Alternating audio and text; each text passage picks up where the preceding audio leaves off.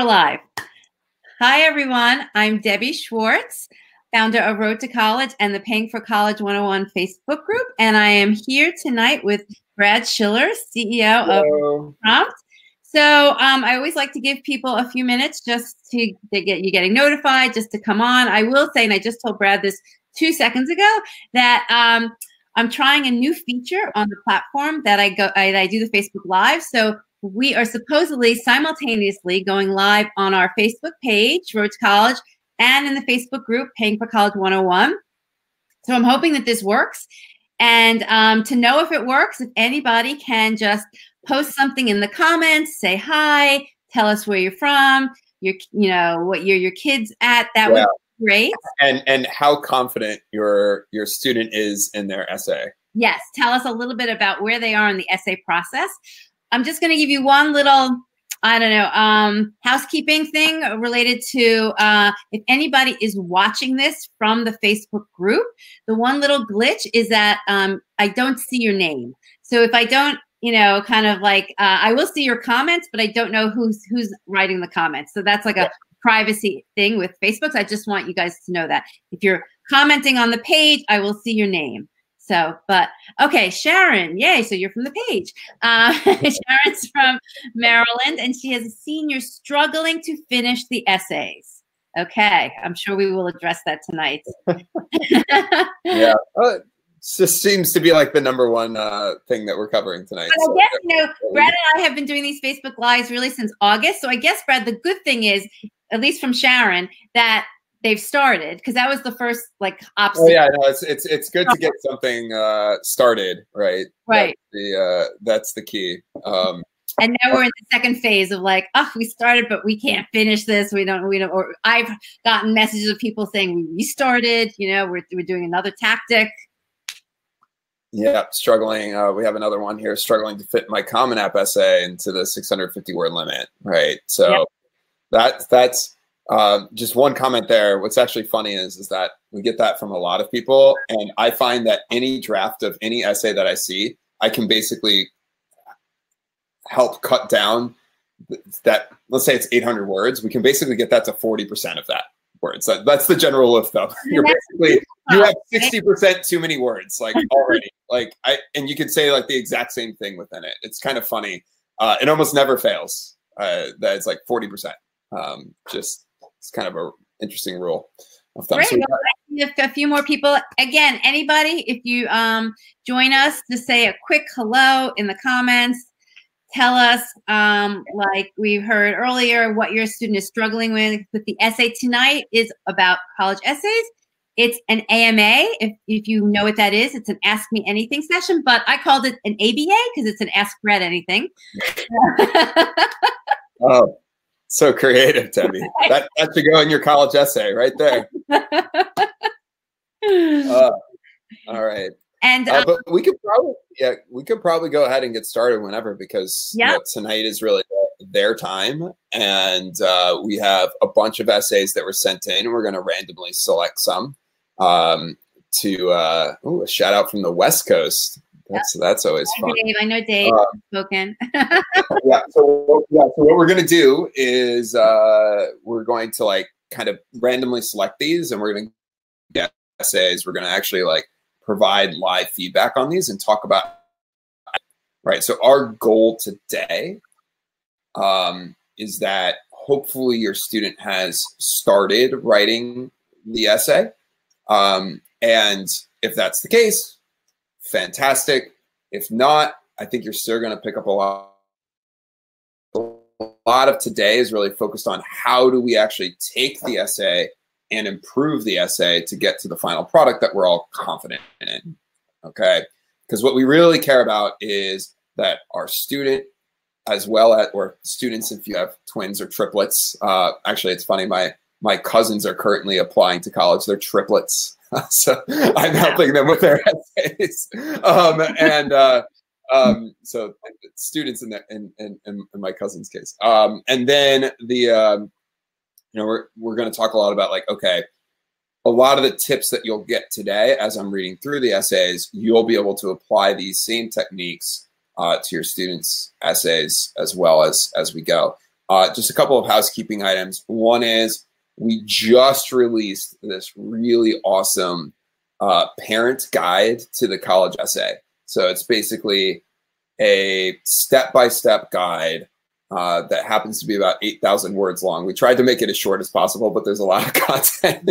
um, and it basically walks you through step by step uh, a lot of the theory behind college essays, uh, what they should be about, some of the myths, all of that sort of stuff in there that can help you help your student uh, have a more compelling essay. So it even will cover a lot of the stuff we're talking about today in terms of how to provide feedback on your student's essay. Okay. So that's housekeeping item number and one. Put that link in the comments. Yeah, so I'll drop that link into the comments. Highly recommend that you uh, that you take advantage of that.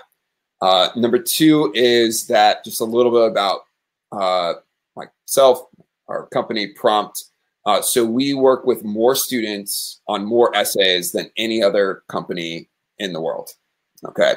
Um, and so what that means is we actually have over 175 essay coaches that can work with you and your your student in one of two ways. One is if they haven't really started writing anything yet or are not confident in the topic they've selected for their essay, you could do a live video coaching call with one of our coaches. Okay, to get things kicked off, you align on here's what we're going to write about in the essay, and uh, here's an outline for the essay, so your student knows exactly what to do and go execute on to get to a really good first draft that they're confident in. Second is we provide feedback on essays, and we provide feedback on tens of thousands of essays a year. Um, and the process that, and you'll kind of see how we go about it today, except today it's going to be a little bit more high level because we don't want to spend 45 minutes on each essay. Um, because when we provide feedback, we're spending like 45 minutes per draft uh, of an essay. Okay, so we're going to um, go there. And, you know, we, we're also going to talk a little bit about some supplements today. So one of the essays that we got was a supplemental essay. Uh, and a lot of the tools and techniques that you learned today will also apply to supplements or like the University of California personal insight questions and and all of that sort of uh, sort of stuff. So I guess uh, I don't know. Brad, any questions that came in before, that, yeah. before we like jump into some essays? Yes, Sharon asked, "What kind of lead time is there for an essay coach? I'm assuming like like how much lead time you might need to set it up to work with an. Oh yeah, oh that's a great question. Uh, I always forget this because we work like 24 seven. So like everybody, I get this on the phone a lot. People will call us and they'll be like, "Well, well, when when can we get started?" It's like, well, did you create an account and get started because then, then you can get started. Um, so usually if you want a coaching call with one of our coaches, you can get that scheduled a lot of times within a few hours. That's like a live call. You can also just upload your essay for review and you have two options. One is like the standard 48 hours. You'll have your essay back within uh, with feedback on it, which I highly recommend. Just do that. Um, but you can get it back within as few as six hours if you want to. Uh, and as the deadline really approaches, we're not even close to the deadline yet. You should see us a week before the deadline. You're, um, yeah, you're kind of getting close to an early. Yeah, well, we're kind of getting close. What I'm saying is that yeah you're all here and you're probably very stressed and freaking out about this. Let me tell you, this is still early for a lot of kids that we work with. Um, so we are right now reviewing about 250 something essays a day. Uh, by the time October 31st rolls around, which is our busiest day of the year, we'll be five to 600 essays in like a single day before the early action deadline. Um, so the nice part is, is you actually have some time here because it really takes only like two to three drafts of a Common App essay until it's done. Uh, supplemental essays, one to two drafts until it's done. So you have some time. And um, so don't be stressed about this. It's actually, this whole thing is a lot easier than you than you think it is. And we're going to talk a lot about some of the, dispelling some of the myths, talking about some of the uh, feedback, like how to provide feedback and what we're really looking for as we're going through uh, these essays today, and we're going to kind of use those as we go, and then we're going to take questions and stuff between the between the essays. So, okay? just another kind of question, and you might want to address this later, but I see two people are commenting that their students are applying to the UCs. Yeah. So the University of California personal insight questions, um, they're actually my favorite um, application essays. Period um, because one, they're shorter, the 350 words. Number two is that they actually tell you what you they want to know. Um, so they actually within the prompt they say here's all the information that we actually want you to write about, which is which is fantastic. Um, and you can use a really direct approach. So they don't really want like a lot of storytelling in it, and that's actually what their admissions officers say. They just want you to answer the prompt, um, you know, provide some detailed information about your experiences, and then wrap up. And honestly, they don't even care that much about grammar or sentence structure. Wow. uh, I mean, you you should you should care about grammar. Like you should reread your essays, but it doesn't have to be like the it doesn't have to be a beautifully written thing. And what's actually fascinating is that the Common App essay, which we're going to look at a lot of examples today because I skimmed a bunch of them. Everybody tries to be just really creative, use a lot of like narrative language, all sorts of storytelling, that sort of thing. And you don't really need to do that, or you don't need to do it to the level that you think that you're doing too. Okay, so it's still helpful to be descriptive, set scenes, all that sort of stuff. But you'll see today that we're really going to talk a lot about like how do we reduce that storytelling to fit in a lot more content, uh, that the content that really matters. Okay. Okay, two more quick things. One is I'm just this is a housekeeping thing, but Dave is asking. These Facebook lives are always recorded.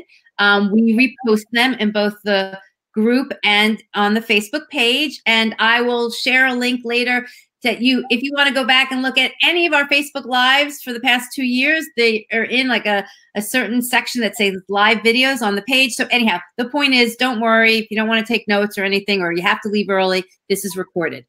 Um, but there was one other quick question, uh, Brad, I think is worthwhile for you to comment on. Is Pat is saying, I wasn't really worried about the essay, but now I am. I thought they were going to take care of it in school. Can I rely on them? Yeah. So it's it, here's here's the way that I look at this. Okay.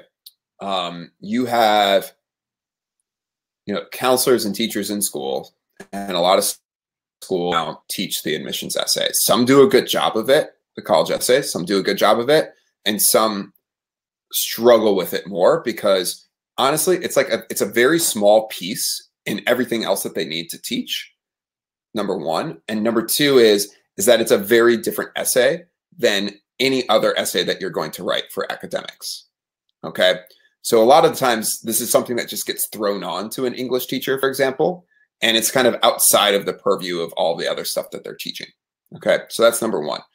But the real important item here is uh, is that is the feedback on the essay. So it's not about, so yes, the stuff before the essay to help students get started is really important, but the feedback that gets provided and going through what we call it like the draft and review, review process or draft and revision process uh, is really critical. And what we find is, is that, uh, and we work directly with over a hundred high schools. So let's keep that in mind. Like we, what we find is, is that it's a capacity issue. Okay. So a teacher, if they have you know you're an english teacher you're a college counselor and at a lot of schools they have you know 100 plus students that they're dealing with themselves as a counselor or as the teacher they can maybe spend 10 minutes providing feedback on a common application essay maybe um, we find that on the first draft of a common application essay we need to spend 45 to 50 minutes to provide feedback on that essay to really generate one like actionable feedback on how they can improve content and structure, not just like sentence level grammatical fixes. Um, but two is to actually help the student understand why they need to make changes. And then three is to provide an action plan for them to go and actually make those changes. Okay.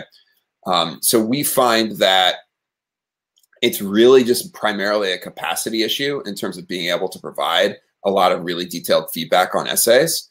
Um, because for students that are, especially ones, let's say you're applying to like a highly selective school, for example, you can, um, uh, you might be, need seven plus hours of one-on-one -on -one feedback on your essays. Okay. Uh, the University of California, which we heard a couple times about here, they have four 350 word essays. That alone is about an hour and a half just to provide feedback on the first drafts of all those essays. Okay because um, it's just a lot. It's really a lot, and it's in it's just a capacity issue because all the students are writing it all at the same time of the year and asking the same teachers and the same counselors for help on this, and those same teachers and counselors those counselors are writing recommendations letters. The teachers are teaching other things, right? It's just a capacity issue. That's the primary thing that that we find that we that we run into. And how I like to think about this is, you know, you may have, you know, when when your student prepared for, let's say, the SAT or the ACT uh, test, there's a good chance that they went to maybe a class of some kind on the SAT or the ACT to learn how to do it, um, maybe even one-on-one tutoring. And that was probably somebody outside of the school that delivered that. You know, it's not necessarily something that they teach in the school. Uh, and so we look at this as like a very similar type of thing. Okay. In other words, if you're getting a coach for test preparation, getting a coach for essay coaching is a really good investment. And honestly, is actually in most cases much less expensive. okay, so you know we're, we're, you know we might be paying like seventy five dollars to get one of your drafts reviewed with us, but um, you know, and you can get it for less than that as well. Uh, we actually currently have a discount code uh, for Road to College that Debbie will drop into the comments R2C early, which is twenty five dollars off mm-hmm. first credit, so you get it for fifty dollars. Um, and so we highly recommend you know taking advantage of the coach. Um, not to say like there's a lot of schools, a lot of counselors, a lot of teachers that do a fantastic job with this. Um, you know, and so I don't want to take anything away from them. I know a lot of them, um, you know, and they they trust what what we do, and some of them even send students to us. Uh, but as I said, it's a lot of times it's a capacity issue um, more than anything. No, and, and, you'll see just like as we go through these essays tonight, I haven't even spent much time thinking about them other than just skimming them really quickly to see which ones we may want to take a look at um, it really like there's a lot of depth that we need to get into here and it takes a lot of expertise and seeing like thousands of these essays to really uh, to be able to pick out some of the issues okay okay all right and just if people didn't realize um, we posted this for the past few days that um, students could send in their essays to be in the hot seat tonight and so um, i forwarded as many essays as we got onto Brad, and he is now going to kind of go through them. Yeah, I'll dive in here. And we just had one question that I saw, which was the Common App essay and the Coalition app. Um, you can use your 650 word Common Application essay in the co- for the Coalition app essay, except for the University of Washington, uh, because they think they're special. But is the Coalition app fewer words? Uh, so this year they decided that um, because people were upset that you can just send in your because a lot of schools were actually doing that anyways. It was funny that instead of the co coalition app prompts, they would say, actually, why don't you write these prompts that are the exact same thing as my common app prompts? It's really funny. we started doing that last year and now, uh, but you have to check check with the school, but I think it's all of them except for the University of Washington. You can just use the same essay which I recommend. They still say 500 to 550 words, but don't waste your time. No, don't don't waste your time. Yeah. Okay. Right. Sharon's confirming. Can the coalition app? Yeah. So the answer is is like yes. Uh, it depends on the school. Just check on it. Uh, but they have like a recommended word count of 500 to 550. But you can really just submit your your Common App essay. Okay. Uh, and yes, the University of Washington is thinks they're special, and you can't do that. All right. Um, so let's go ahead and get started. I'm going to share my screen and we're going to pull up our first essay. And so what I'm going to do with each of these is I am going to, I don't know what's going on here. Wait, so can you, I don't think we've tried this, Brad, on this platform. Can you share your screen? Do you have the little, do you have a little buttons at the bottom? Oh, yeah, I, I, have a share screen button. It's just, it was slightly confusing because now I actually have to like, I had to click on something um, all right, so now we are sharing my screen. Fantastic. And I am going to pull up our first essay prompt. Essay. All right, let's do this one. Actually, no, I want to, we'll come back to this one in a second. Uh, I want to do, mm, let's do this one first. Okay, cool. So um, what I'm going to do is I'm going to read the essay out loud because it's probably hard to see it on your tiny screens. Yeah. Um, and then uh, what I'm going to do is like normally what I do is ask everybody's opinion on this. Uh, but what I'm going to do instead is just kind of give my own thoughts on the essay. uh, and talk about how to improve it. And then we'll take some questions related to that, and then we'll move on to the next one. Sound good? Yeah. All right. So this essay is called 1,862 Miles. The seatbelt signs dings, and I hear the pilot announce, cabin crew, prepare for landing. I gaze outside my window and see the familiar snow-covered mountaintops. I'm back home. After exiting the plane and going through customs, I arrive at the baggage claim where I'm greeted by my grandparents, aunts, uncles, and cousins. I haven't seen them in nearly three years and was overjoyed to reconnect with them. As we were driving towards my grandmother's house, I catch up with my cousins. Among the numerous questions they had for me, one stuck out in particular. Do you wish you lived here so you could be by your family? I was taken aback when asked this, but it made me wonder, what if I did live closer to my relatives in Canada? I was only two years old when my dad received a job opportunity in Texas. We don't have any family in Texas, let alone the United States. Since I no longer lived close to my relatives, loneliness consumed me when I was younger. All of my friends would talk about their plans to visit their grandparents over the weekend while mine ac was across the northern border. I envied them and I wished that I too could be close to my family. Soon I realized that my family was right beside me.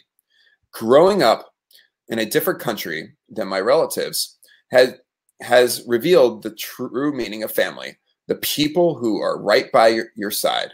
Being in Texas has given me the freedom to become my best self. This newfound independence sparked the maturity within me. I surround myself with a compassionate group of people. As my friendship with them became stronger, the loneliness eating away at me vanished. I felt loved in Texas, but every so often, a Facebook birthday post from my cousins would reopen the gap.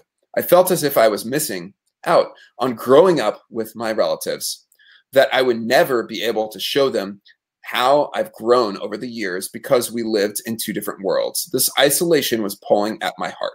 When my cousin graduated from high school last summer, I especially felt as if I was missing missing out on not living in Canada. All of my relatives were posting pictures of them together on graduation day, and I knew I wouldn't be able to experience that when I graduate.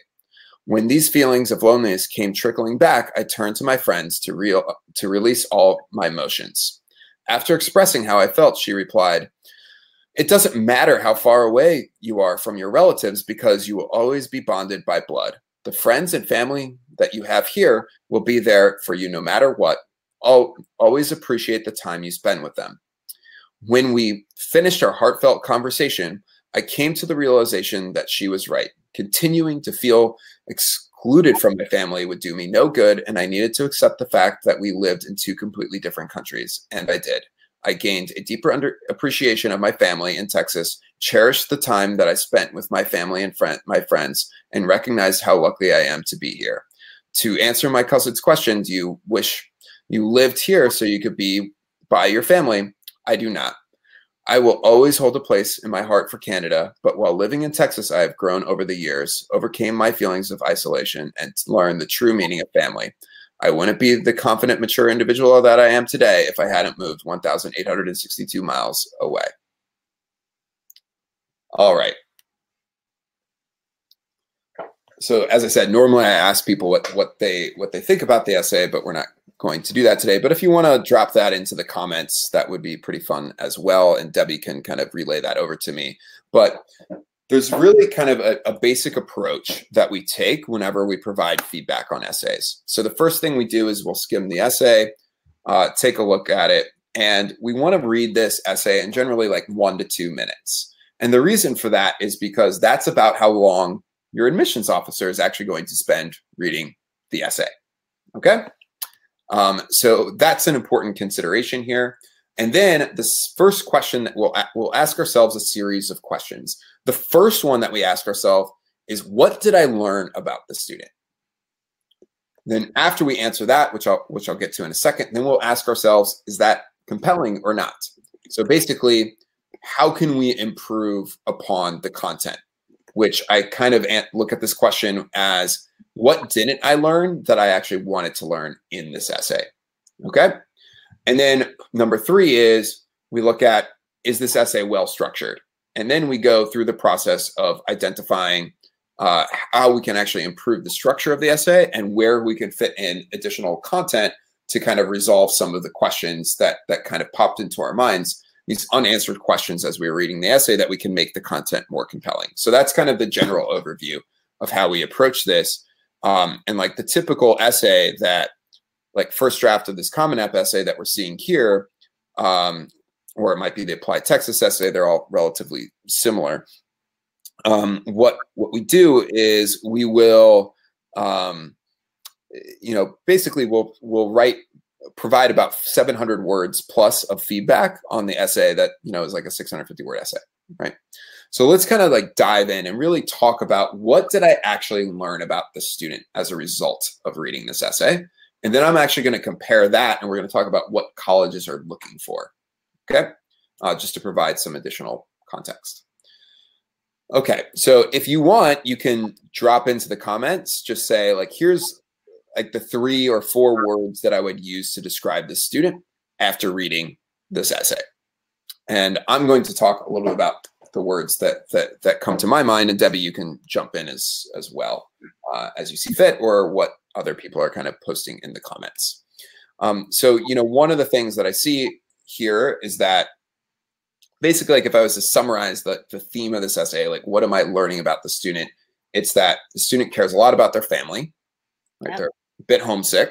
Mm-hmm. Um, the um, but they've had a realization that actually their friends, their friend group in Texas is, you know, essentially their family, um, and that they're okay with that.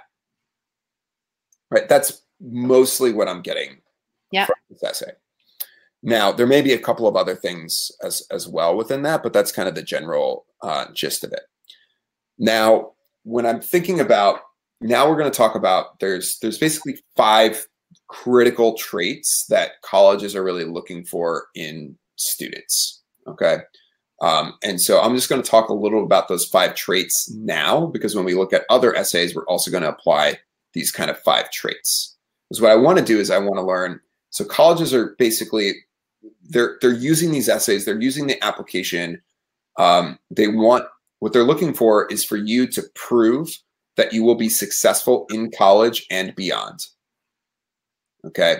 And the proof of your uh, that you will be successful is based on the your experiences within your essay and the content within your essay and a little bit on okay here's your gpa and test scores and that sort of stuff right so you're maybe a hard worker that sort of thing uh, but within the essay what they're really looking for is five kind of key traits and your and some experiences related to these um, at least two or three of these traits that kind of will prove that you will likely be successful in college and beyond. So the first of those traits is drive. So we want to know that the student is really like driven, you know, that whenever they see a challenge that they're going to just overcome that challenge because they're likely to face challenges in college and in life and instead of shutting down, they're just going to, you know, plow through and and overcome those challenges. Okay?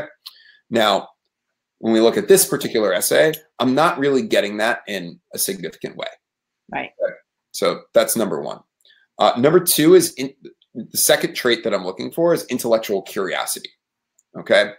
Um, so these are students that really just enjoy learning for fun. So they have certain topics or areas of interest that they kind of, in their free time, they're just diving into you know, they might be going down various YouTube rabbit holes of learning or like engaging with uh, communities of, of like-minded people on Reddit, you know, about like climate change and all sorts of other things like that. There's like a certain topic and they're just getting really deep knowledge in it because they find it fascinating.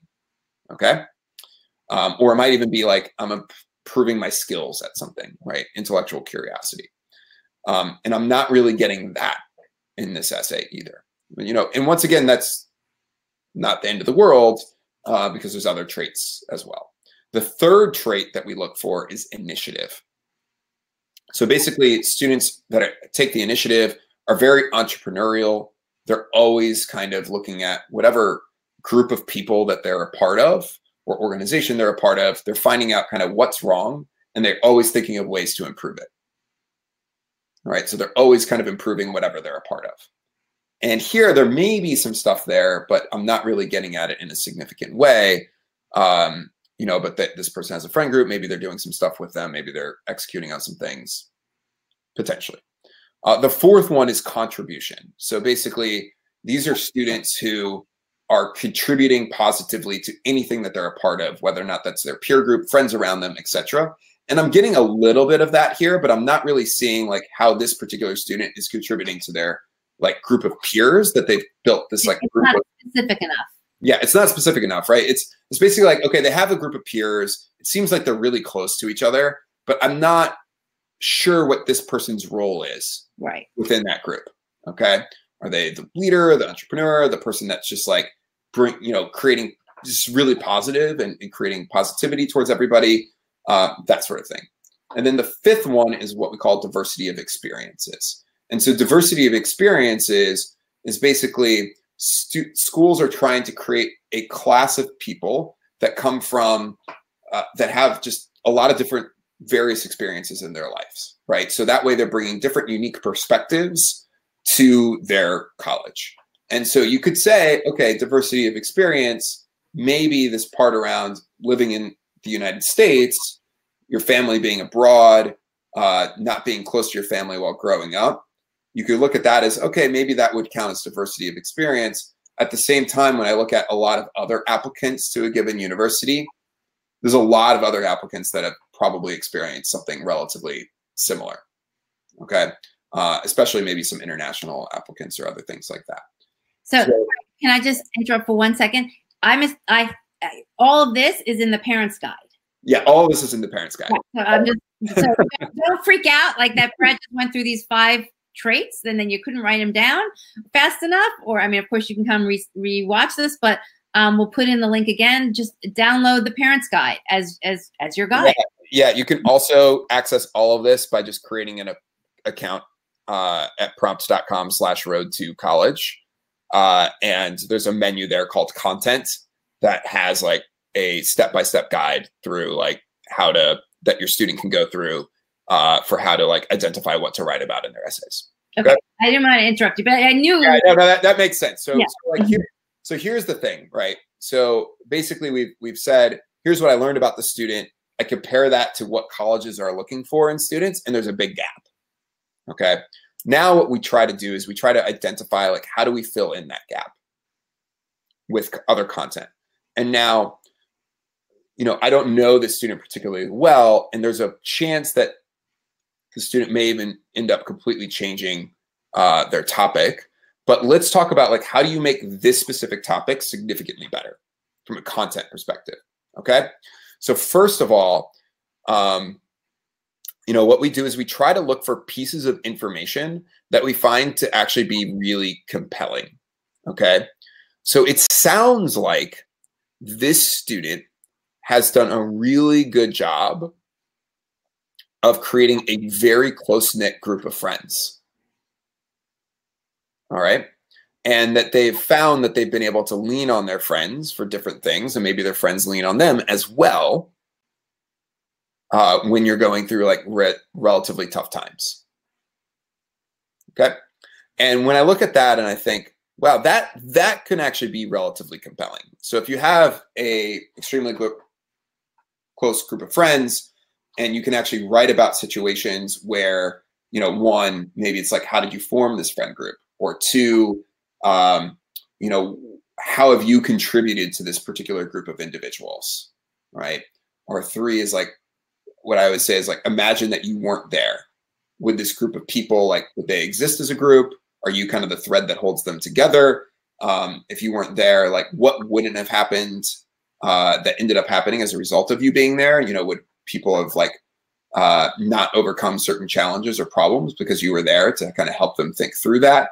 And you want to identify these like really compelling things that you did to contribute basically to this group or to contribute to your school's community or contribute to um, you know something else right and so in that case you can actually look at it and say okay now i can start uh, really showing that i'm like a contributor um, like if you, the school could see you on their campus and you would think and they would think wow this is a student that's really going to come in here and be a significantly positive impact on their class at school, right? So anybody that they interact with is just going to be made better as a result of their presence, right? You can have that coming across in the essay. You can have something that's more initiative oriented, I think, based off of what I'm seeing here, that might come across in their essay, uh, where they're kind of doing something that's a little more entrepreneurial or kind of changing the status quo uh, and making things better, right?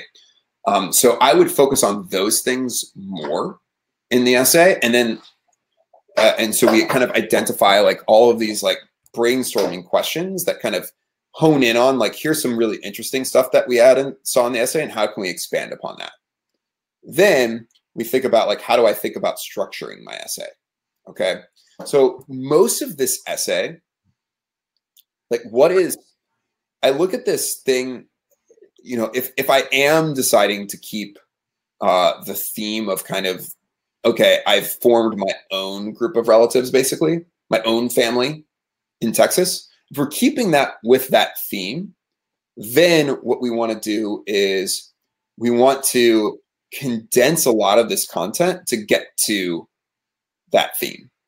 All right. So basically, what what really matters? Like, I don't need to know cabin crew preparing for landing.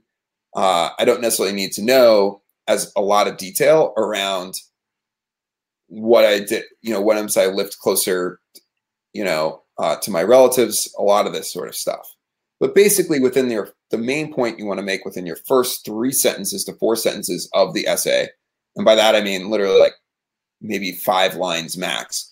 Basically, what you want to say is, um, you know, I you need this to come across, and you want to set a little bit of a scene as well because it makes it more compelling. But basically, what you want to get across is, I moved to Texas when I was two, right?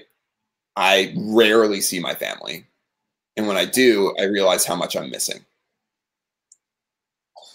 Because of that, I decided that I needed, I took it upon myself to actually form my own family in Texas. Right. And then the rest of the essay is like, the next section of the essay is like on how did you do that? Then the next section of the essay is on, well, what was the meaning of that? right? So like, how did you contribute to that family? Um, what problems did you solve? Like, when did you take any sort of initiative? Like, what? How did you contribute to them? Uh, and that's like the next section or two sections of the essay. And then you can even have a third section of the essay that's on like how you were able to lean on them in time, like a time of a challenging time for you, um, in order to, you know, kind of it, it should show kind of the resolve of this like group of people. And then you can wrap up the essay and say you know that you've glad you found this family and that you look forward to expanding your family in college. Mm. you know or something like that. Okay? And that can be a pretty good essay now i wouldn't say that it's my favorite essay ever um, but i do think that uh, just because i don't know like all the ins and outs of of this student and kind of their, their friend group but i do think that there's enough there or likely enough there that you can make a really compelling essay out of it okay so I'm going to pause there. Let's see what other questions or thoughts that had kind of come in as we were going here. But just at a really high level, this is way too long for an introduction. You should talk about like five five sentences max. Within five lines, I need to understand what's going on in this essay. Like what I need to have a good sense of where this essay is headed. And right now, I don't really have a sense of where this essay is headed. I kind of thinking is like, okay, how is any of this relevant? You're talking a lot about you were two. Um, I don't know how old you were when this this this other part happened.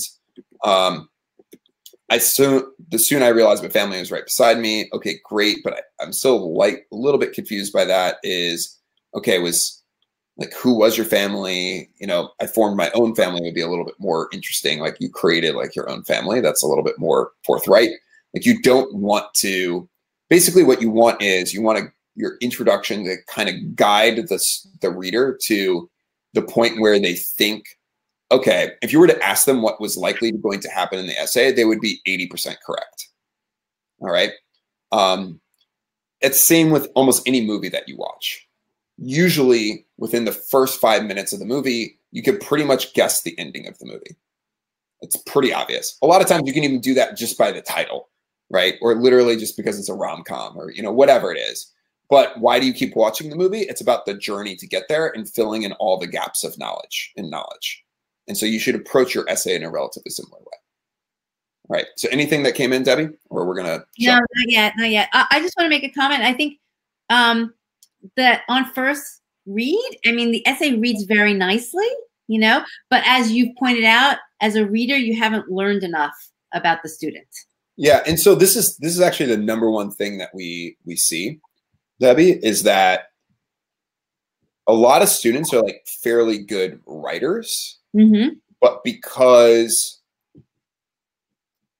we don't do a there's so much disinformation out there on the internet on you know sometimes in, in the classroom like everywhere about like how to write an admissions essay that we end up seeing that a lot of students just are not including the right types of content mm-hmm. or the right structure mm-hmm. right? all of these things like that and that's really where you know what we're really coaching students on the sentence level stuff yeah it, okay great. Like but but you know most, most most the vast majority of our work is just on content and structure and like how do we think, help students improve that. Okay okay sharon does have a question. Sure. She, she's saying you say you need to know where the essay is going within the first five lines but it but it doesn't really need a thesis stated right? That, that, that is that is that is correct. So i use what's called what i like to call a guiding sentence okay which provides direction to the essay so in this case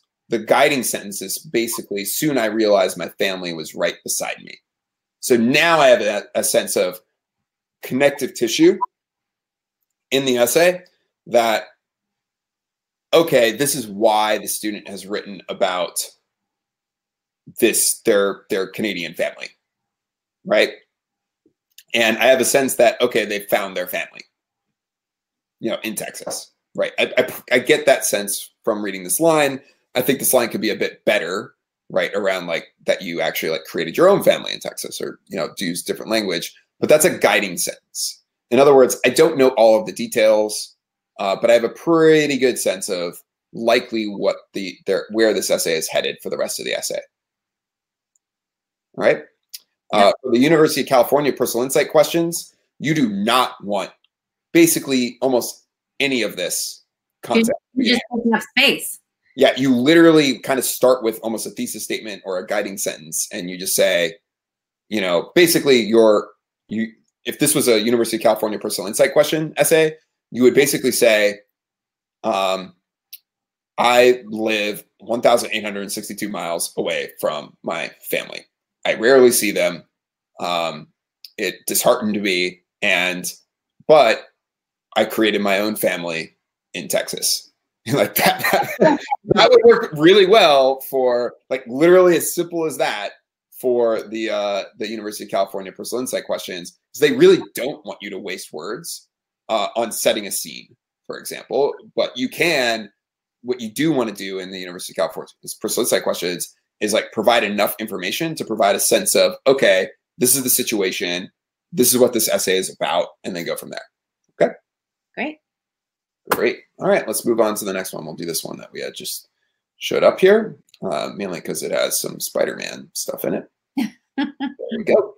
Um, I'm personally not the biggest Spider-Man fan, but uh, I think this is a good one to take a look at because it, it mentions Spider-Man and, and a lot of people do stuff like this. So um, we can chat about it.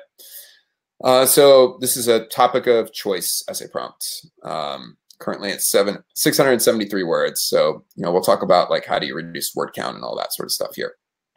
Um, but once again, as I'm reading this, think about those five traits and see if you can spot where those are coming across in the essay.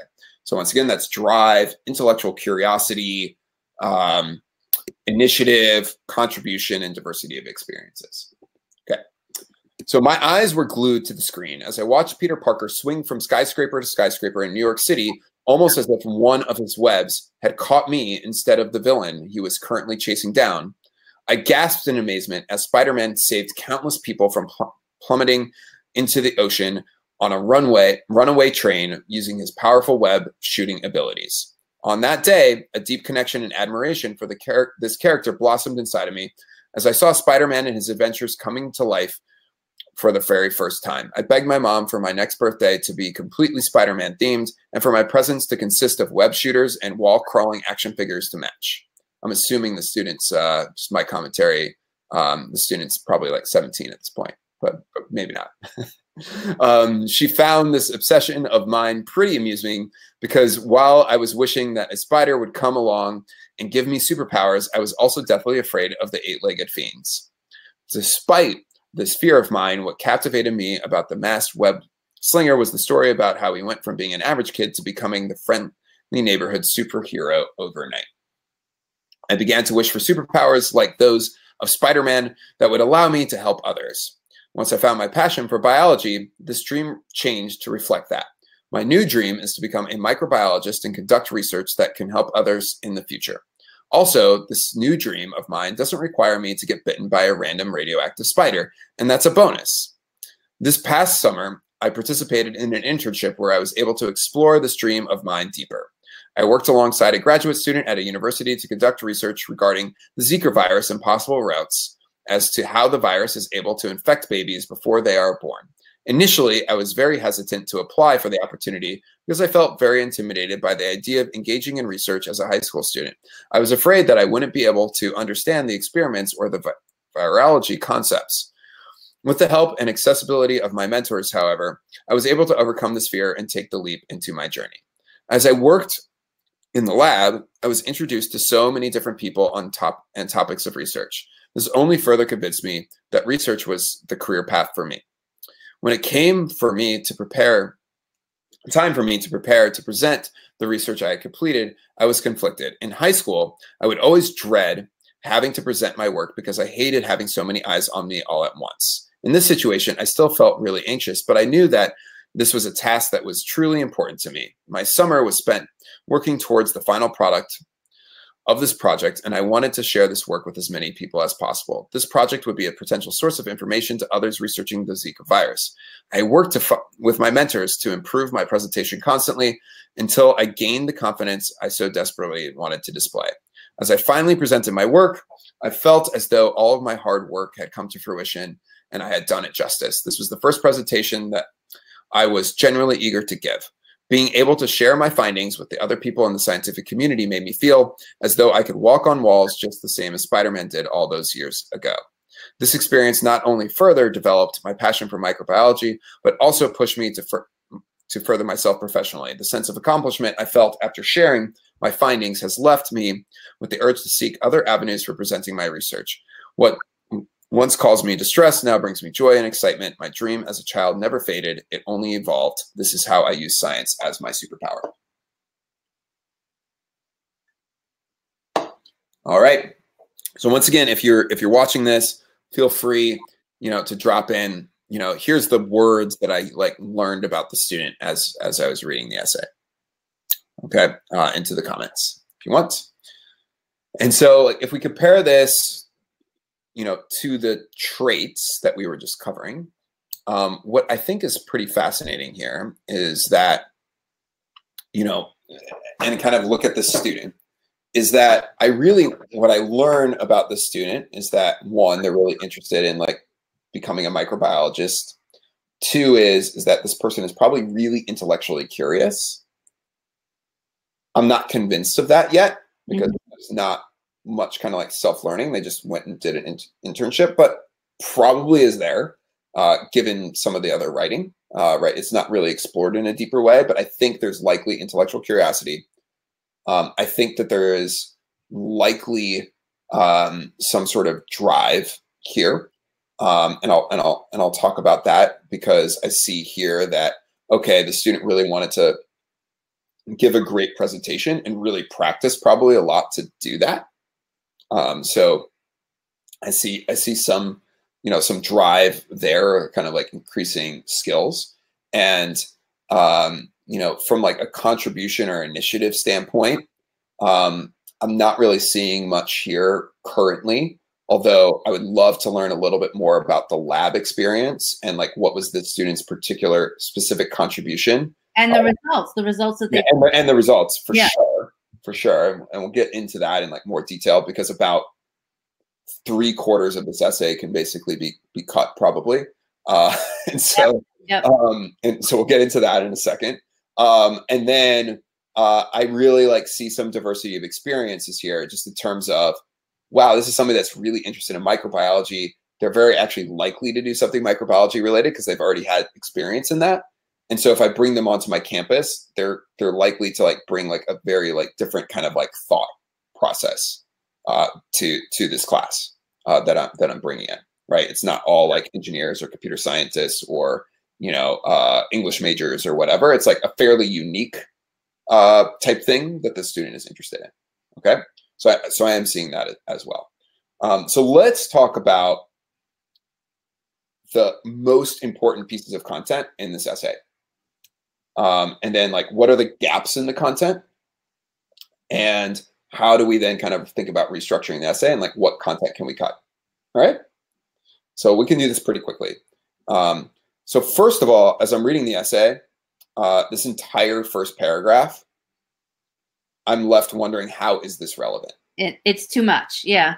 Too much. Now, I, that doesn't mean don't use the Spider-Man example at all, because it does give me an early a sense from like your early childhood that you have been really interested in like biology biology related stuff. So mm-hmm.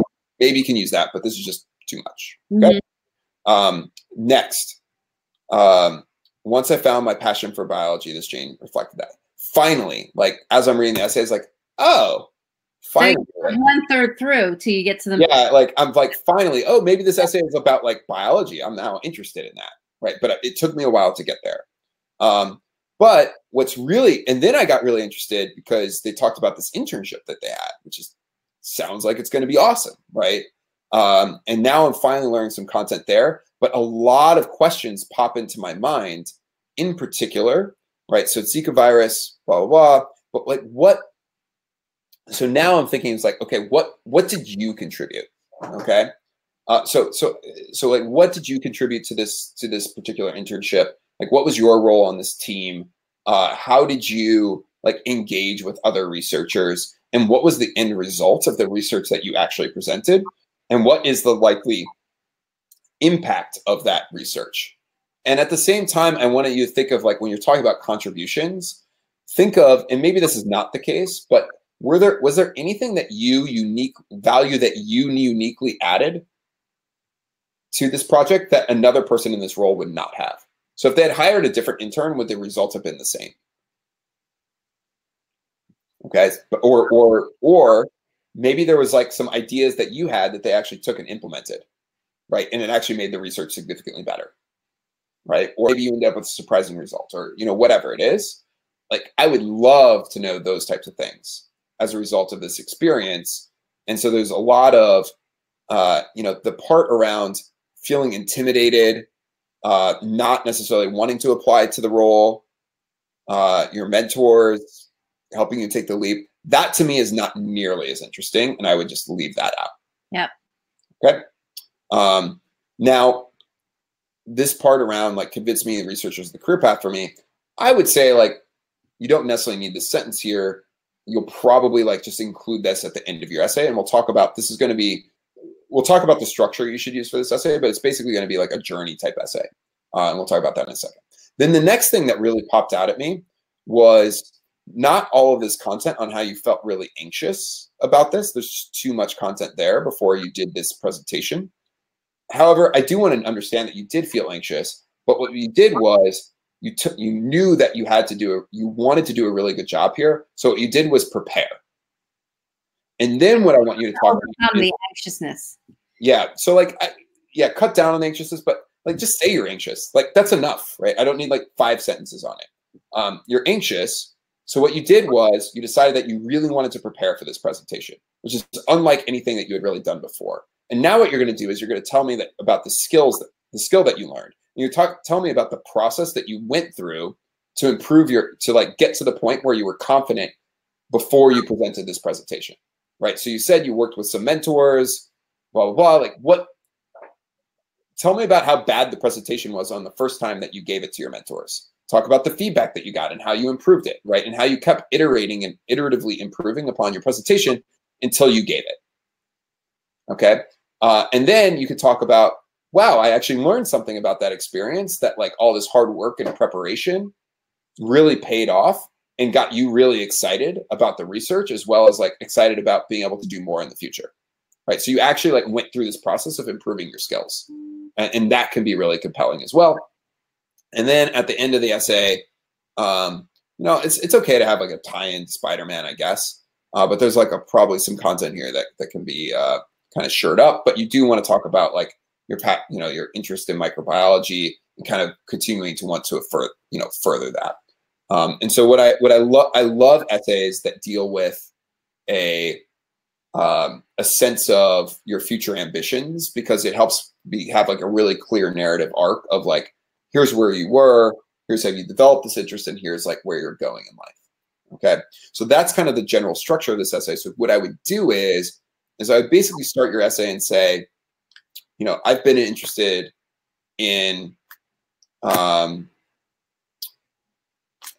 you know, I don't want to say biology, you know, or microbiology since I was a kid, right? That sounds a little bit much, but uh, you know, basically since, since you know, um, at age five, may, maybe what you do is you almost have like a little montage at the beginning of your essay. So I'm just giving a little strategy here, right? You know, um, at age five, right? I uh, I saw Spider Man. You know, I had a Spider Man themed birthday party, right? Which was odd because I was scared of spiders, right? You know, at age eight, like I had this experience with like living organisms. At age 10, I had this experience with living organisms. At age 12, I had this experience with living organisms. And guess what? Right. It's just to like have a almost like this montage of like, oh, the student seems always really interested in, you know, living things. And then you could say, you know, and all this has really led up to is like just like I'm fascinated by living things. Right. And in particular, whatever microbiology is related to. Okay. Um, then I would have the first section of your essay, I would have about your intellectual curiosity. So yes, you had this internship, that's great, but tell me about like your intellectual journey about why are you really interest, interested in this particular subject? Talk about like, what do you learn about? Like, how do you engage on this learning? Like, how do you spend your free time learning more about this? Okay, that's section number one. Section number two is about your internship and like the actual research and what you contributed to it and like what you learned about yourself through that process. Section three can be about um, the presentation that you had to give and really about building your skills uh, to give that presentation and the hard work and that in that iterative process that you went through to get there. And then your conclusion is basically to wrap up and say, you know, that all, everything that you've done, you know, in your life is really pointing you in this direction, uh, you know, to become a microbiologist, right? So the main point here is is that what as i said like what we're doing is we're going through your essay and we're trying to spot these like specific nuggets of information that tie to these different traits. And then we think through like how can we expand upon these particular pieces of the essay to make it significantly more compelling and prove that this student really does have this trait in like droves right? So they've really proved that the student like this this essay is really about intellectual curiosity right? It's really about proving that the student is really intellectually curious uh, with some elements of the student being driven and contributing to others and some diversity of experience within it as well. All right. Any questions or any comments that that came up through that? Uh, um, not comments specific to what you just said but there was a comment earlier that i think you can um, relate because you started talking about structure. Um, the comment was can you show how the last paragraph relates to the first? Isn't that one of the key points admission um, uh, uh, people want to see given the fact that they spend such a short time reading essays, at least initially? So, yeah, I mean, it's, it's so here's the thing it's not a requirement at all. Um, a lot of people do want like a tie-in to something that they said at the beginning of the essay, and it's nice. Like it's like, oh, that's nice. Um, but that's really what it is. Um, what you're really look, you're not. Let's put it this way: What is the purpose of this essay? The purpose of this essay is to prove that you're going to be successful in college and beyond. You're going to learn that from all the students' experiences that they're writing about in their essays. So having some sort of like creative tie-in at the beginning of the essay about like Spider-Man, okay, that's that's maybe nice, but is it a requirement? No. I don't need a, like an analogy or a metaphor or other things like that and then have something in my introduction that I could tie to at the end of the essay. If you can, great. If you can't, whatever. Not a big deal. Um, so as I said, like if you do include Spider-Man here and you have a tie into Spider-Man at the end of the essay, that's fine. If you don't, that's fine too.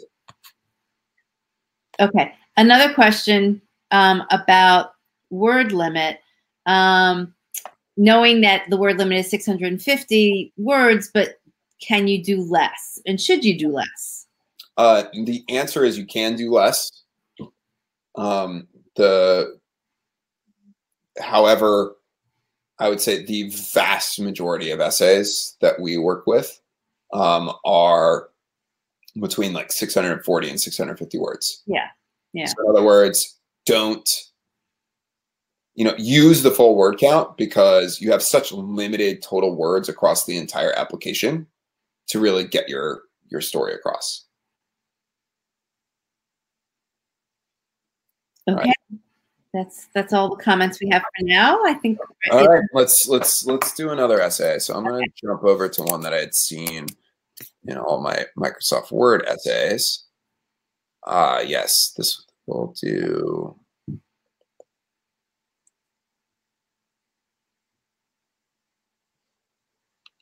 Let's see, we could we could do this one. All right. And then um, let's see, we have Debbie. How much longer do we want to go? Do we want to do one more or two more?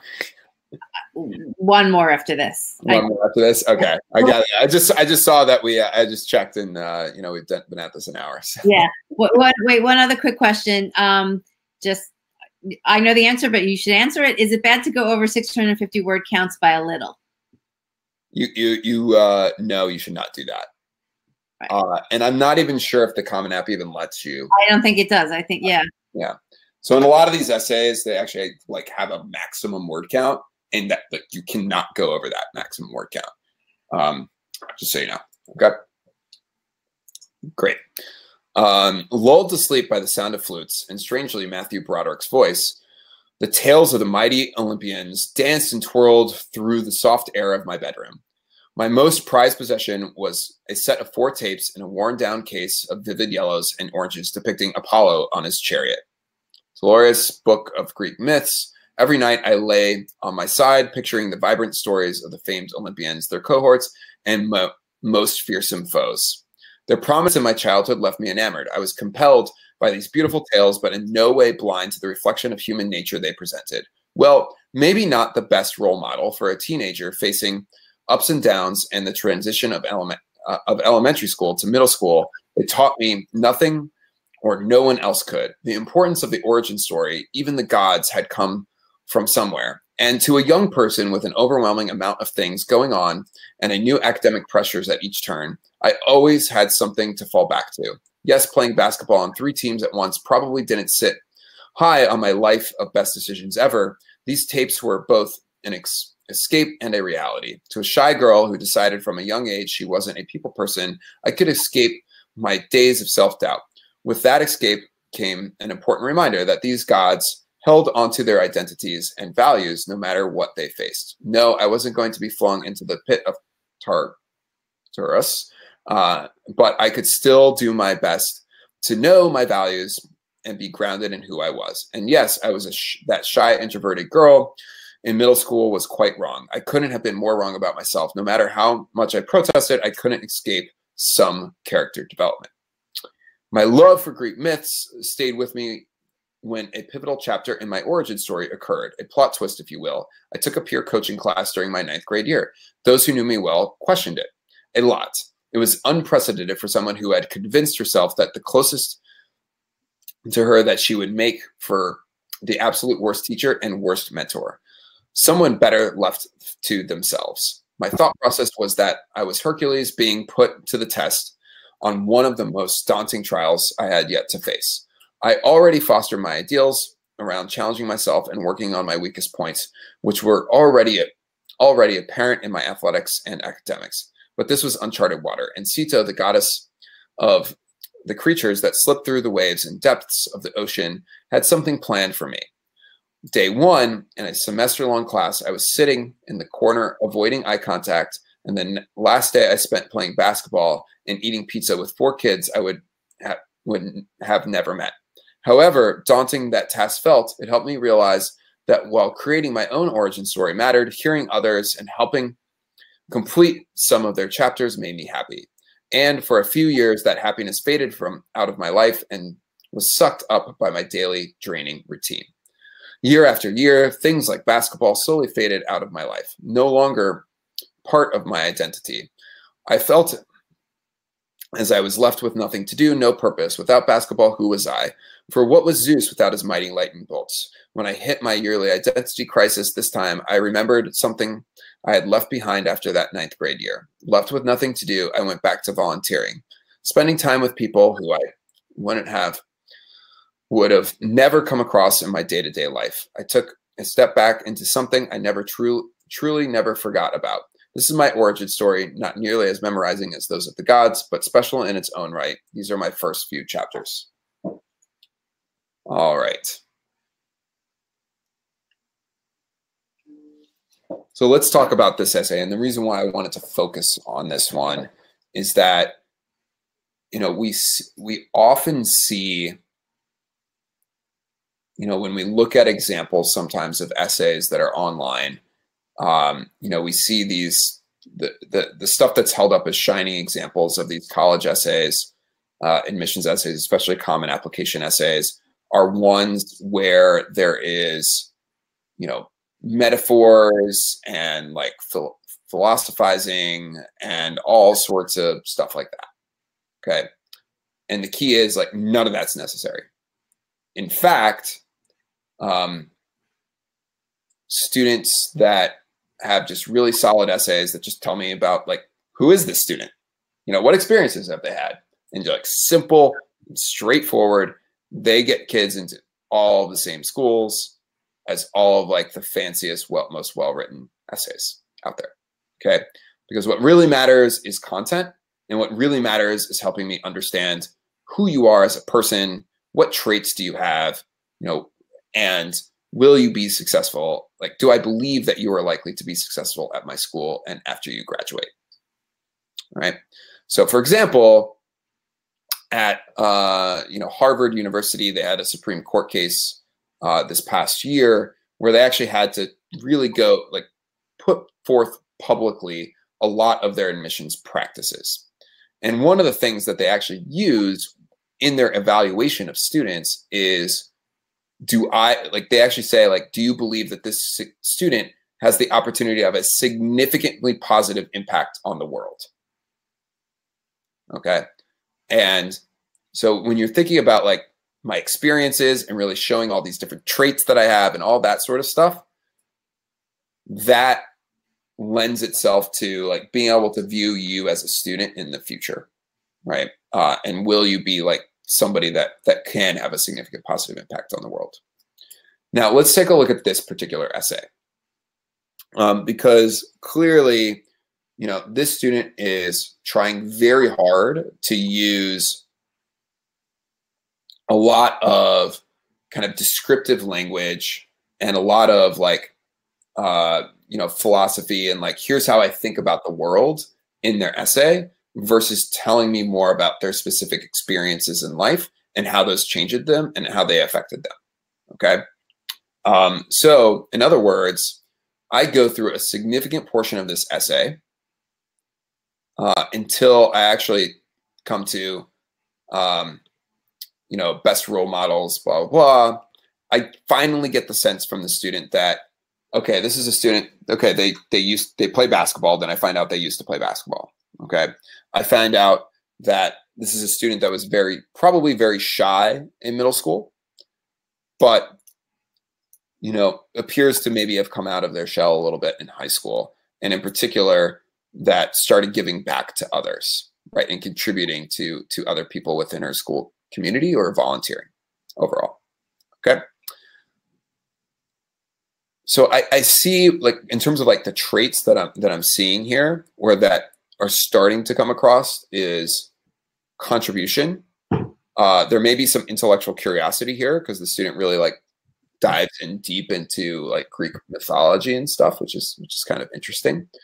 Um, but but like not maybe as much intellectual curiosity as I would like to come through, and I don't get really get much proof on the contribution side of things. Okay, so I'm really left wondering like who who really is this student and will this student be successful at my school or not? Okay, will this contribute, really contribute to the, to the school's campus? So when I when I go through here, like the stuff that really jumped out at me as like, here's something that I think is really interesting, right? So I think that it's kind of interesting is this part around all of your friends thought that you would be the worst teacher and worst mentor. And you did too. That's pretty interesting. Okay. Um, then you actually like did some tutoring, right? But I don't really learn much about that uh, in this this process. I do find one thing that you're avoiding contact, uh, eye contact, and then all of a sudden you were with four kids you never met, and that may be kind of interesting because you clearly have gone on this journey to from being, you know, a fairly you know shy and reserved person to somebody that's being a lot more outward. Uh, and we see that actually is a lot of times a really fantastic topic to an essay. And then we find that you went back to volunteering. Great. Okay. Um, and that's really interesting. I would like to learn a lot more about that. But as we see here, there's really only about three or four things that I'm picking up kind of across the entire essay that I would say I really want to learn a lot more about this. Now, ultimately, you, you will need to decide whether or not including the stuff about Greek mythology is really core to like your overall personal story or not. In other words, did you just include that because you thought that it would be like sound great uh, and seem really clever? Or is that actually like a critical part of your being? And if it's a critical part of your being, we got to figure out how to tie that back better into your overall story. All right, your actual like overall origin story and like your overall story altogether. But what I really look at this is an essay that I would actually start with if I was going to get, you know, potentially get rid of some of the Greek mythology, or maybe you can include some of it in there. I really think that this is a pretty funny way to start an essay, which is basically that, um, you know, you, you decide to take this peer coaching class, right? And that you, like, if you started your essay, basically that you know both you and your your the people that knew you the best thought you would make a terrible teacher and a terrible mentor. Like and that would be a funny way to start the essay and then explain like well that immediately gets me thinking well why right? And then you answer that right away. And it's because you're this like shy kind of more uh, person that avoided eye contact all that sort of stuff right? This wasn't it just wasn't who you were. And from that and but then you can have a guiding sentence that says but really like this was like the inciting incident that's really changed you into this like new person okay? And so then what you can do is you can actually talk to me about in this first section of your essay you can go through and say here's who i used to be like in middle school uh, my freshman year in high school when i first got there this is who i used to be right uh, and you can actually show like some of your experiences maybe there were some times that you know, you were asked to do something, but you didn't do it. But you wanted to, but you didn't do it because you were afraid. Then the middle of your essay, the second next section of your essay is kind of about the specific moment where you became this like peer mentor and you kind of changed. Okay. And you were actually good at it, maybe. Okay. Um, and that could be that second section of the essay. And then the third section of your essay is like, well, you're now this new person, is what I call like the new you right? So you realize that you are this different person, but now you've gone on and said, here's all these other things that I could do now that continues like being able to contribute to others, right? Which is the, uh, and really like discovering yourself, which is like all this volunteer work and other things like that. And you probably don't even necessarily need to mention basketball within this whole context because it appears that maybe you stopped doing that after like ninth grade year, right? It may not be like a critical part of your story, uh, or at least it doesn't feel like it is at this point in time right? And then at the end of the essay, maybe there's like some tie into your future ambitions. And based off of everything that you've learned about yourself, maybe you want to be a teacher or do something with students or do something with helping other people uh, and teaching other people or other things like that, right? That you tie in at the end. But that's kind of how I look at this this particular, uh, you know, how you could think about improving this essay and really focusing on the content that really shows some of your traits and who you are and this like journey that you went on. All right, Debbie, any any thing that came up? There's a question that came up before, but I think it relates to what you're talking about. Um, Sharon's asking, does a student need to be very blatant in the message when, that they're trying to convey? So, in other words, should they say, I've always been very curious about X, or um, I was able to overcome, you know, or can the essay be more subtle in what they're trying to convey? So it's basically like how direct do they need to like be in saying exactly what they're trying to get across? Let me put it this way. If you give this essay to 10 people, all 10 people should basically say exactly the same thing about this essay. Okay? Um, because you don't have control over the person or people that are going to read this essay and they're going to be reading them really quite quickly and they might be reading over 100 applications a day all right? Uh, at a point. So what you want to do is you actually want to be you don't want them to have to think about what you're trying to tell them. In this essay like i'm having to do a lot of thinking to understand like who the student might be. And once you are at that point you've kind of lost them. Mm. a little bit. Uh, so it's what i call the accept mindset where from the beginning of the essay to the end of the essay you need your reader to think, I want to accept this student. Once this person starts thinking, how is this relevant? Like, I don't understand how this is relevant. They'll start thinking they're going to reject. Mm. And once they once they start thinking reject, it's almost impossible to get them back to accept, no matter how good the rest of the essay is. So what you want to do is you want to control what your reader is thinking at each point in the essay. To the point where basically, if you gave this essay to 100 people and they said, what did you learn about the student as a result of reading this essay? They would basically all say exactly the same thing. That's what you want. So be feel free to be really direct. Um, you know, you could be a little bit subtle if you want, but if you're being subtle, make sure that every single person that ever would read this essay would pick up on it, on what you're trying to say. That's that's the important part. Okay. Another question about like how personal to get. So, um, how personal can one get in writing down his or her own personal experiences in overcoming the hurdles in their year, early years of childhood in attaining an academic achievement in their current years? Does this how how does that sound in a personal essay? Will that sound like a sob story? Yeah. So here here's the thing. Um, when you're when you're writing, like how personal to get, right? You want to be fairly personal. Uh, at the same time, really think about like what is the topic you're writing about. Um, so, in other words, like if there was like some sort of what I call like an inciting incident, like of something that was like not ideal that that happened to you at, at some point in the past, uh, or to people around you, and that it significantly affected you, that shouldn't be your entire essay. That should be maybe 100 words of your essay or 50 words of your essay. It's not much, but what I want to do is like if you feel like it's a critical part to your overall story, as a person, you want to be like very clear that this happened and this is how it affected you. And then like talk about how have you changed as a result of all of that? And like, what have you done since then? And the most of the essay is going to be about that. Okay. Um, so you really want to like, you can get fairly personal if it was like a really important thing.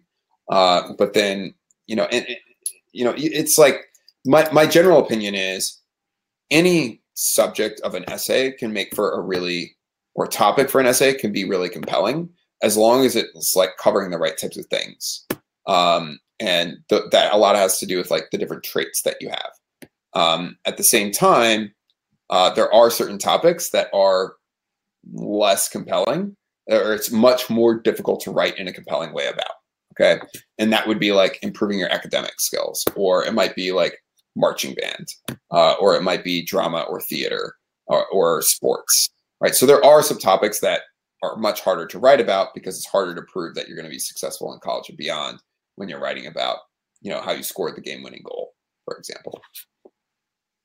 So uh, I'll just say, uh, um, I don't know if you guys know, I have a son who's in 11th grade. I was just invited last week um, to his school, and they had three admissions officers, you know, kind of give a little talk.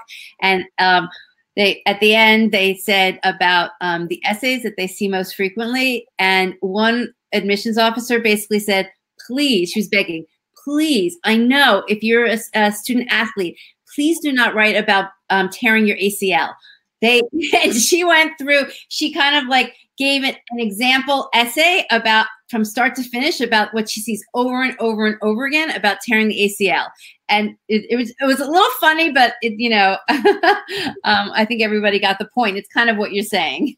Yeah, I mean, what's what's fascinating is that there are occasionally a tear your ACL essays that are incredible, but right, but it actually has to do with very little about tearing your ACL or recovering from it, and it has to do with more of like that's an inciting incident for all these other things that the student ended up doing in their lives right? Like it's it's it's uh anyways it's fascinating. But yeah like i i've seen a lot of it, it, you know most of these people have seen it's very hard for them to like see like a creative essay but that's a, that you know an essay that like they haven't necessarily seen before but that's okay right that's completely fine because they're really just trying to understand who you are right, right. that's that's the critical part and so i think I, I was gonna say I have a question, Brad. I'm just curious. Um, you know, you went through these tonight. It was great. Um, you kind of gave each of these essays like options of like the different directions that they can go in, right? So yeah. when when um, people send in their students essays and they get feedback, how can how does how does that come across in the feedback? Like, you know what I mean? Like, is somebody saying you could have taken it this way, you could have taken it this way, or have you thought about this? You know, you know, I'm just kind of to give people a sense of what they're going to get back.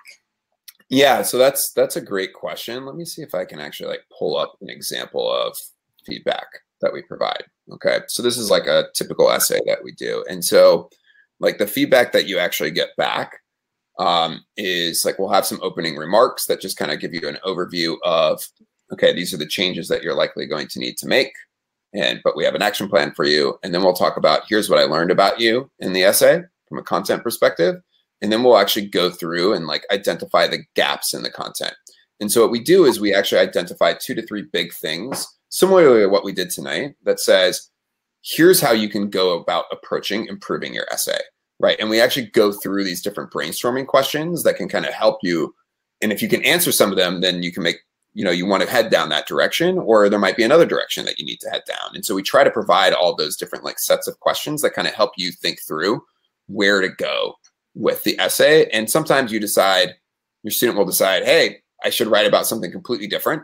And those brainstorming questions may actually help you think about some of those other things that you might want to even write about. Okay. So it kind of jogs your mind and be like, oh, this, this other fantastic thing that I wanted to write about. So, like, for example, uh, this student, uh, he's probably almost done with the UPenn now, I would imagine. Uh, but he wrote the first draft of his essay that we saw was like basically about his like family history. Okay. And his like a little bit of his life story. And I was like, ah, it's okay. It was great. Uh, but we provide him a bunch of brainstorming questions. He's like, I can't really answer these questions. But he thought about, well, what are some of the other things that kind of do answer these questions? And he ended up writing a, this awesome essay about how he ended up, you know, essentially he ended up um, kind of running his family business. That was like they owned like a uh, like an apartment complex somewhere, right? And this was like an immigrant family and that sort of thing. And like he was like evicting tenants and like dealing with legal stuff and doing all this stuff like as a, like this high school kid. And it ended up being an awesome, awesome, really compelling essay. Right. So the, my point is like you don't have to get married to a specific topic, but a lot of this stuff will kind of help you think through, oh, this is how I can make this topic way better. Um, or it might help you think about like, oh, this is I could actually write about something else that could be a lot more compelling. Okay. Uh, and then we actually provide an example outline uh, to similar to what we did here of like, how do I actually rearrange my content in my essay and how do I fit in all this stuff and like, what should my essay kind of look like when I move to my next draft? And then we'll provide some like high level comments actually on the essay itself of how to do that. But we find that between a first and a second draft of an essay, students are making some fairly significant modifications. So we usually don't provide much sentence level grammatical feedback on a first draft. We usually do that on like a second or third draft. So most students are doing like two to three drafts of their common app essay with three is like the most common and one to two drafts of supplemental essays with us. Okay. And then the other thing was, you know, and so people know you can um, send in your student's essay and they will get, you know, comments what Brad is just saying. But this is the first year you kind of also offered this one-on-one coaching, right? Oh yeah, yeah. This is the first year we've really started doing a lot of like the one-on-one coaching oh, sessions. When you first mentioned it in my head, I thought, well, you know, if I'm a if I have my student and they kind of, you know, don't know where to start or they don't know what topic, that that would be a great, you know, way to, to start. And it still is. But I'm also thinking it's actually they could send in their first draft and then use like a one-on-one to have this whole discussion you know kind of like like the like the yeah. that they had almost like you gave now you know kind of like where they gave a little taste to somebody about what they were thinking and then you can you know talk about yeah yeah so my my opinion yeah so my opinion on that is like with what we do what we did tonight and just like live feedback what we find is that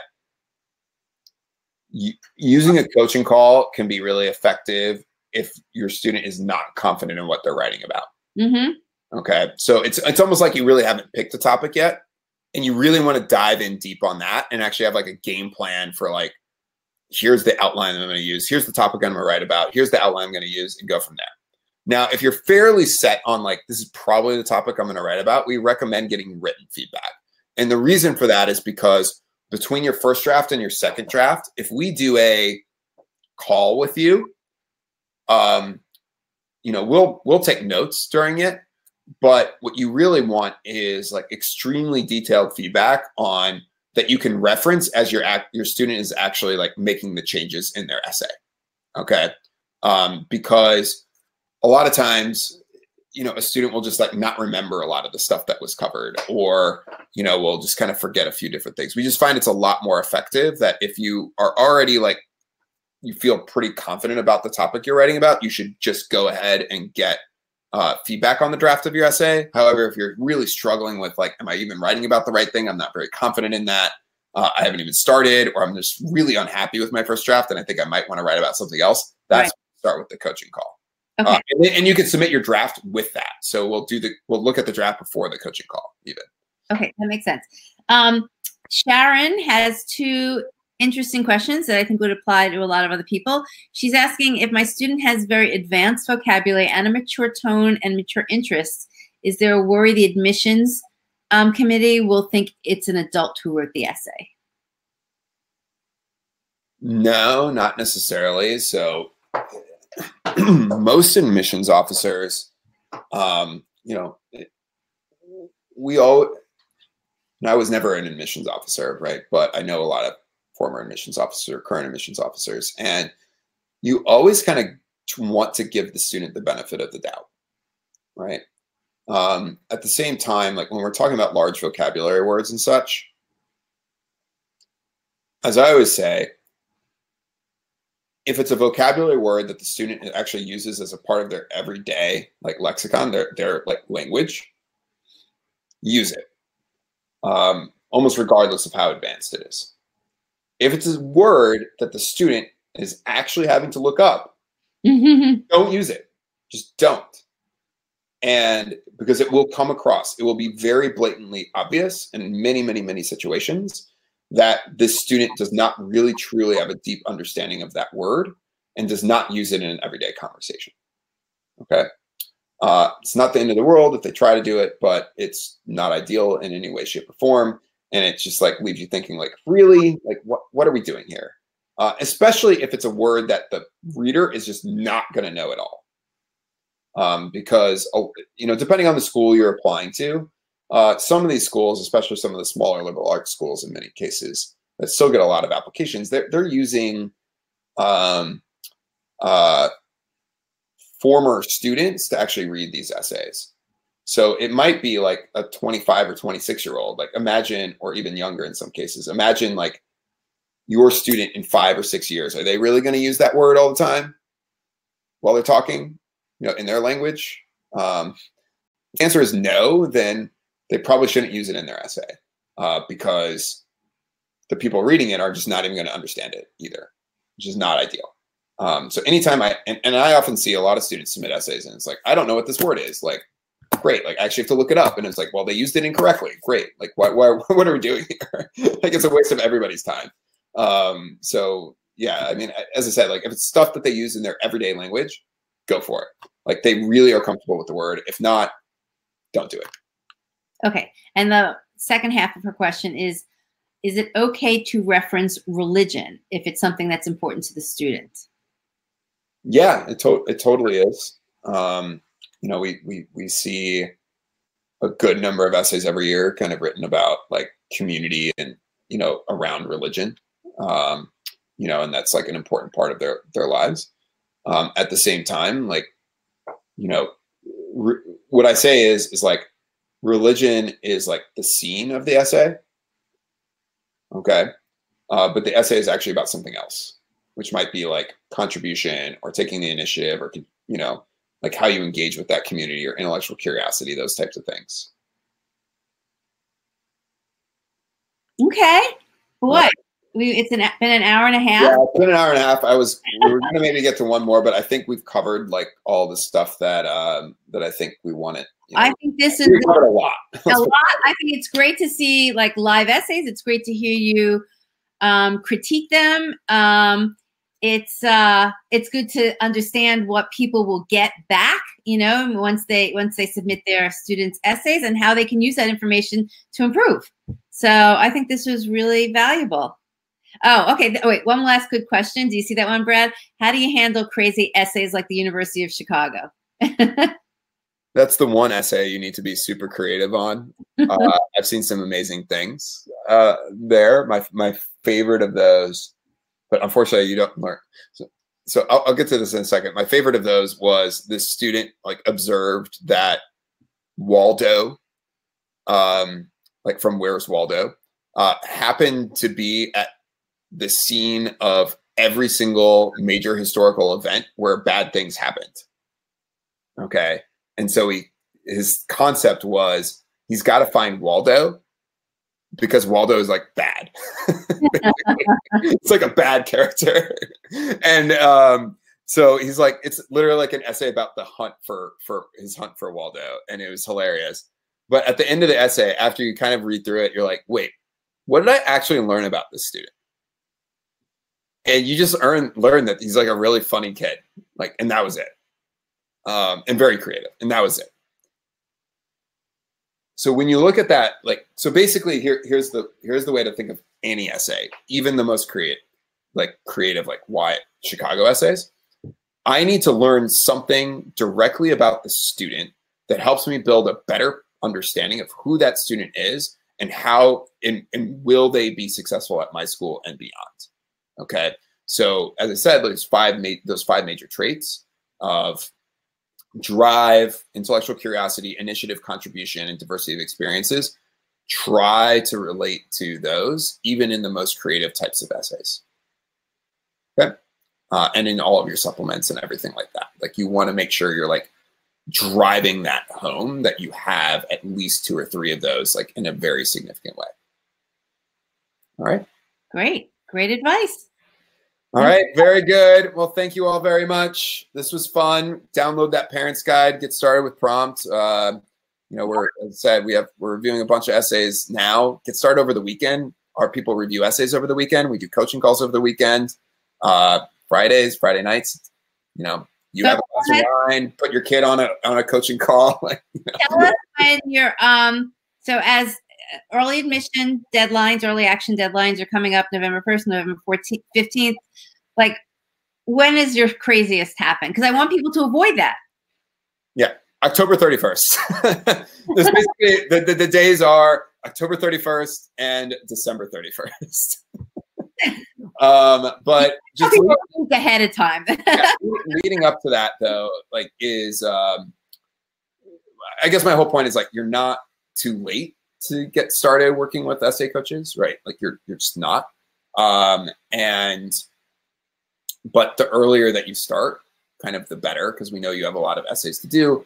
And even after you get your first draft done, you get your first feedback on that draft, and you get to the second draft, you'll be so so much more relieved and confident because you you will see the end of the road.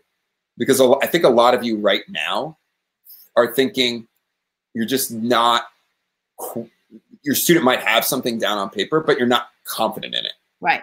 Right. And like what we're here for is to to to get you to a real like be really confident in the essay that that your student is submitted.